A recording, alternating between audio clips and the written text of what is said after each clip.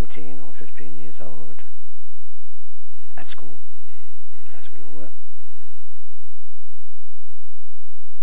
every week we had one music lesson.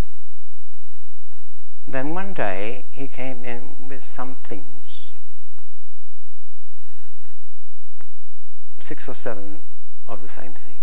And he put one he opened his desk, which used to be the way the teachers had a desk in the centre and with a lid, and he'd put one of these things in the desk. Then he went to a cupboard and opened the cupboard, and he put one of these things in the cupboard. And then he went to the windowsill and he put one of these things on the windowsill. Then he went to the front row and put one of these things in a boy's pocket. And so he put these five or six things around. And the last thing that he had, he hit on the desk. And it went boom. It was a tuning fork. And then all the other tuning forks that he had placed the way I've described also went mm. That's the process of resonance. When this happened,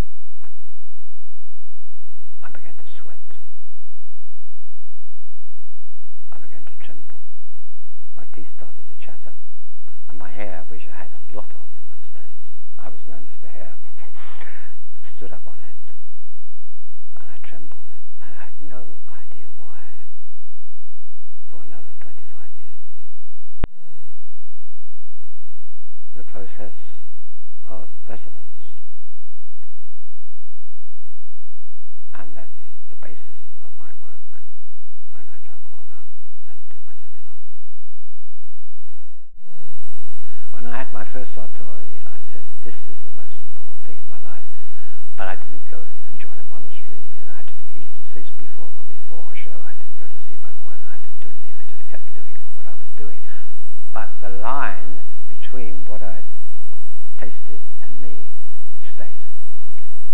I, I wasn't there, but the line between me and that space I maintained, I think, throughout, from the first moment it tasted it. When I first went to Pune, that was in 1974, when he was a Bhagwan, not Osho, I went to the morning talk and met him for the first time. And then at that time, there were probably in Pune no more than 100, 200 people, so it was very early days.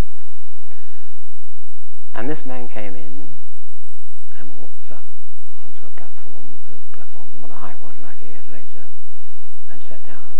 And I looked at him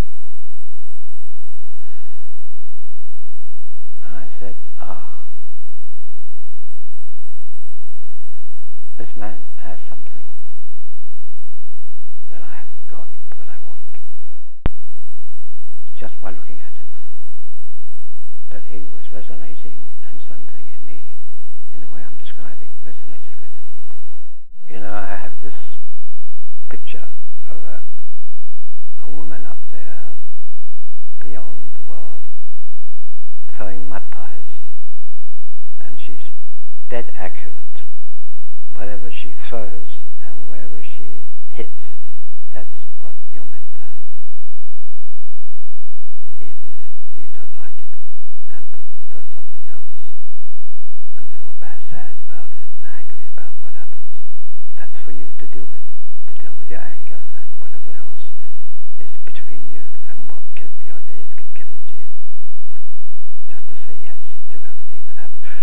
necessarily to agree with it, but to say yes, well, I have to deal with this now. This is what I'm given to deal with.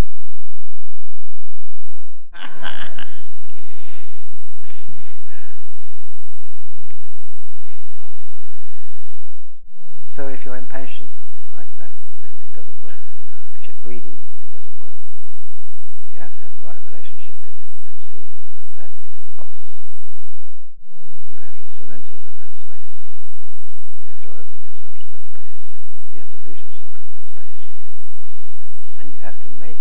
Happened. happen.